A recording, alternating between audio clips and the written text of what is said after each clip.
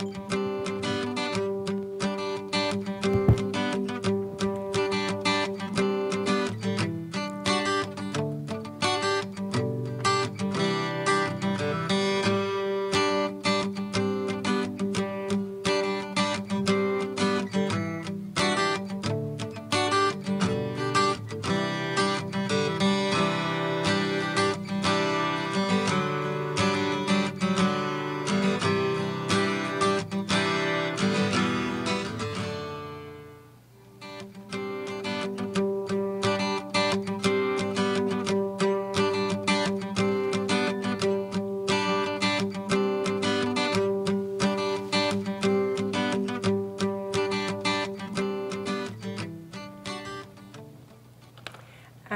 Heartful Soles is love wrapped in a pair of canvas painted shoes that are sent across um, to uh, different locations to share a smile. And um, it's a way of connecting or sharing kindness heart to heart. Those would be words that I would use to describe what I do. I wish I could tell you that um, I founded Heartful Soles, but it kind of found me. It's an opportunity that um, God gave me to reach uh, a lot of kids who are critically ill, um, some of them terminal. And what I do is I paint shoes that um, are covered in canvas, and I um, send these shoes um, to children. Uh, what I did was I created a, a page on Facebook, and I wasn't sure what would happen. I used to paint for another organization that does this, and um, their limits were just children with cancer. And I started finding out that there were a lot more children out there who had diseases with letters that, that spelled them out, more letters in them than children that I were meeting, that I was meeting had in years. So these shoes um, on my website or my Facebook page, I just kind of put on a page that said Heartful Soles. And um, I sent it to a few friends, and within a matter of two months, it's grown to 1,002 people. And all the people that are a part of this page are families who um, are somehow connected with a child who's terminally or critically ill. My idea to paint these shoes and raise money to provide these shoes was I'll use this Facebook page and I'll paint shoes for anyone who wants a pair of shoes and take that money and put it towards the real purpose, which is sending them to the children who are sick. Um, the thing that has amazed me in this um, opportunity is that it has taken on its own life. And I'm learning now that I have to turn this into a nonprofit organization so that I'm able to still create more shoes for these children. I have painted shoes for children all across the United States, and the thing that's so exciting is the internet, I've learned, is such a valuable tool because it has connected me with children um, and their families that I've been able to keep in touch with and encourage even after they get the shoes. To um, Another way of, of, the connection is that um, people who um, maybe don't have a child that's sick see the shoes and they're like, oh, I want a pair of those. And so I've created an opportunity for them to learn to share kindness from their heart to a child um, that needs love. And so um, God has really blessed this opportunity. I have lots of people who have stepped up and said, I want to be a shoe angel and sponsor a child. And then um, I've suddenly got a waiting list now of children who are waiting to get a pair of shoes. And for most of them, time is a very important thing. Um, so I've learned that I need to spread this thing out and make more um, opportunities and more awareness of children who are so ill. I had no idea that there are thousands and thousands of children all over the world who are fighting with diseases like cancer and, and some diseases that I've never even heard of. These kids have become my heartbeat. They have become um, inspiration for me because I was just recently diagnosed with a weird autoimmune disease called Sjogren's disease. And um, so it's really limited what I can do. I used to be a full-time minister um, doing ministry. I've done that for over 20 years. And now I find myself having to cut back because of my disability. And so this has been a very exciting way for me to, to wake up every morning with a purpose and share God's love with children who desperately need to have a hug or a smile all wrapped up in a shoe. So, you know, they say that Cinderella had her life changed by a pair of shoes. So I'm hoping that you could be a prince who will help me connect kindness um, heart to heart. And so that is my um, goal, and that is my heartbeat, and that's why I'm here today to share uh, this amazing opportunity that God has just kind of laid in my lap and blessed me with. So thank you for the opportunity to be here. And if you have any questions, I'd be happy to answer them for you. Great, great presentation. And perfect. That call really scared me. I mean, that was like to the second. Are there any questions Sorry. for Peggi? She has a little prize hiding inside here. What's really sad is these diseases hit, you know, they don't come to people who are older. I paint for babies who, who are five months old with cancer.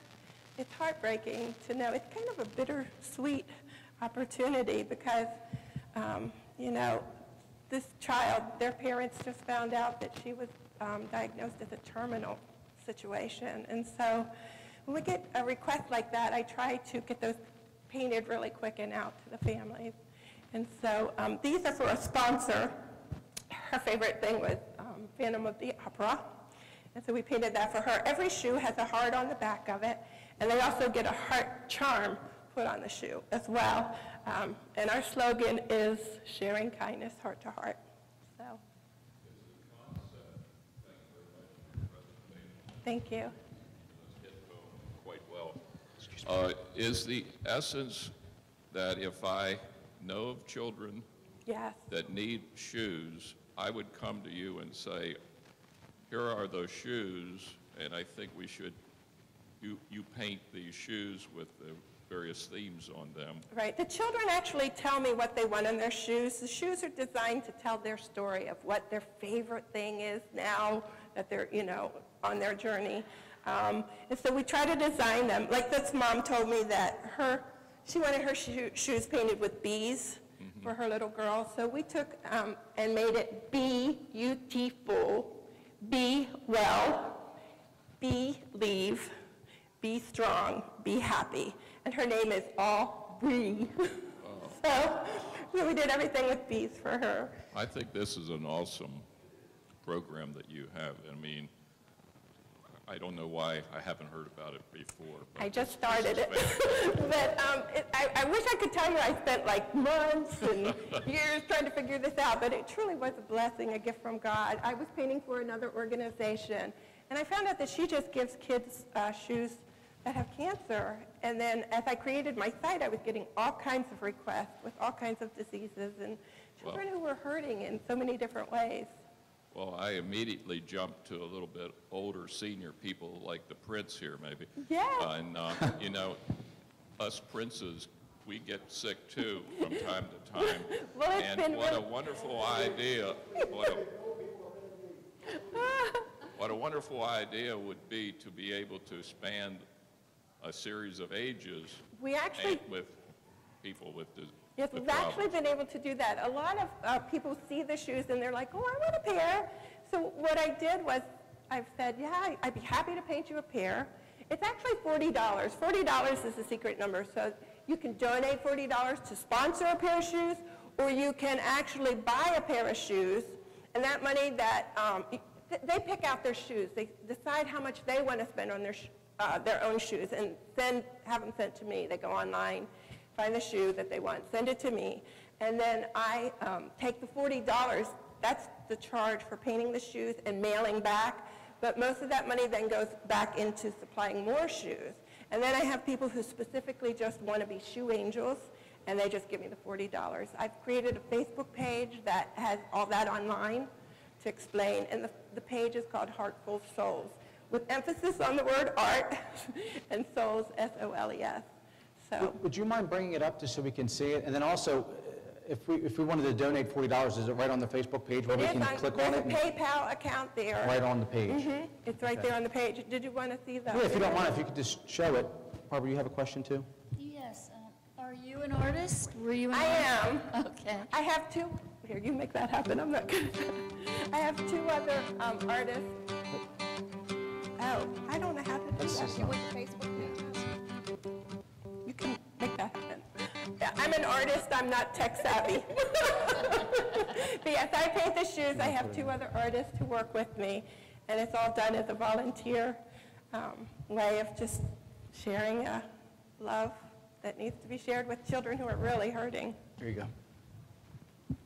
Are you looking for other volunteers? I am, actually. I, I'd like to see the work of the artist, but yes, and I'm actually meeting with the CPA next week to talk about fundraising and becoming a nonprofit because this thing has become bigger than I ever thought. I started my uh, page at the end of January, and I've got a thousand, two people now, and a waiting list for children who need shoes.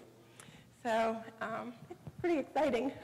I think it's interesting to see how you have progressed, your journey, the evolution of your program. You began as most startup businesses begin as a nonprofit, and now you want to progress to be a nonprofit, you said. Right. My purpose was like actually selling shoes to healthy people so that I would have money to provide shoes for children who are sick. I understand. And the letters and the, I wish, if, if you go on my page, you can see the thank you videos from the children, from the parents, and um, comments. Um, It's, it just, it's my heartbeat now. Do you have a plan on how you can um, multiply yourself? Other artists possibly, but do you have any type of mechanization in mind, in mind now, uh, where parts of it can be done automatically in some fashion, uh, so that the part that you would lay to the shoe can be less than 100%, but you can multiply your effort wider? Because this is obviously going to take off. I do have friends who are interested to be involved in the corp- corporation or the nonprofit or whatever it's going to be called, um, who, uh, um, like I said, I've been in ministry for 20 years, so I have a lot of friends who have become very passionate about this with me. And um, I figure God's given me this opportunity, and he's going to send the right people, uh, like he did with Kina. She's been a real blessing to me. We just met last weekend, and so um, I'm just trying to keep up with God right now. Congratulations. Thank you. So what I'm hearing is structure, Yes. and and nonprofit is, is definitely ringing in my ears. And I hear the word collaboration. So you want to collaborate with other nonprofits where there's a, where there's a link with working with children. Right. Um, And one of your, one of your um, best links will be the Foundation Center in Washington. Okay. That connects nonprofits, um, grant makers with grant seekers. Oh, great, The other thing is, the minute you started talking and I saw the shoes, I thought of my seven-year-old grandson. Uh, We come from a car-making family. So he's not ill, thank God. Yes. But I can see him with a pair of sneakers with cars on it. Yes, So are we not, are Yeah. we, are we just focused towards the- the kids who have? No, I paint them, what's really fun in that is it's teaching kids who um, are healthy to actually be connected with kids who are sick and to encourage them through a pair of shoes. What's really cool is once you've become a sponsor, um, and I connect you with a child, and what's been exciting to me is I'm sending shoes out to like places like Minnesota and um, Ohio, I mean, all over the place. I even got a request from Spain. The most unusual request from, if you've seen the show on TV, um, The Gator Boys, I painted a, shoes for, a pair of shoes for Jimmy's niece. Her name is Brooke, and she wanted gator princesses on her shoes. I was really surprised when that request came through, but, um, you know, there, the idea is to um, have people who are healthy or even sick. I mean, what's amazing to me is these families who have sick children are the first ones who want to sponsor a pair of shoes. Um, there's a lady um, who has a little girl here named Riley at Rehoboth. Um, she sponsored shoes for three other children that are sick. They understand what a pair of shoes like that can do, and so they're very generous in helping. Two more questions. Uh-huh. Um, So would I provide his shoes to you? Yes, you would send me a pair of shoes, and then it's $40 to do that, and then that $40 will provide a pair of shoes for my kids on the, the waiting list. And what would be the turnaround time? It usually takes me about two weeks. the the longest, depending on my list, too. And, um, of course, the children who are sick are always first, um, depending on their situations as well. But usually within two weeks, I can get them out. They would be going to Nebraska. Okay, yeah. And, and lastly, um, what's your, what's your five-year goal here? What's, what's your vision? What's your five-year goal? Oh, I would love to be able to make people aware of the importance of putting a smile on these kids' faces. I had no idea there are so many children in the world with terrible illnesses. I mean, we're talking five months old to, my oldest child just turned 15 yesterday, and he was in the hospital last week, and he was supposed to go back in yesterday, and his mother sent me a message that said, "Thank you all so much for your prayers." Because his insurance wasn't approved yet for him to be in the hospital yesterday, so he got to be home for his birthday. They were so excited about that. So um, we we actually reached quite a few children in ages, and I'm back to structure. One one of the thoughts, do you, um, is there a way if, if someone was able to relate to one of these illnesses and they said, okay, well, this child has this illness, I'd like to donate shoes for this, do you do that or you just throw it on top of the list? We, we, we uh, will take shoes or um, sponsors um, in any situation that will help us get shoes to a child. The thing that is so unique to me is the timing in this. I was just diagnosed with Sjogren's a month ago, and I've been working with these shoes for probably four months. And there's a verse in the Bible that talks about how Psalms 139 moments, I call them, how God runs ahead of you and he prepares a way. And um, this was definitely a Psalms 139 moment for me because when I was diagnosed with Sjogren's, it's a pretty scary illness. I mean, it takes all the moisture out of your body. It's limited my abilities to walk. Oh, he told me not to do that. I'm sorry. my opportunity sometimes to speak. Um, and so this has become an opportunity now for me to uh, be able to reach children. They're, they've become my heartbeat. And I think it's awesome how now that I have this disease, I can't complain about it when I'm meeting children who have diseases that are longer in letters than they are in age. So um, they've definitely become my courage as I'm facing all this and given me a purpose every day to wake up. So. Do you have a need for artists to participate? I do have, yeah, it's growing. And as it continues to grow, I, I will definitely, I have two other artists who are working for me. Here's another cool thing. Vernon Powell called me out of the blue, and um, I'm going to be there next Saturday painting shoes. Tom's is actually working with us. And so uh, we'll be painting shoes and introducing uh, the Heartful Soles to people there. And um, getting sponsorships, hopefully. So all these unique doors are opening up that I have not knocked on, and I'm pretty excited about that.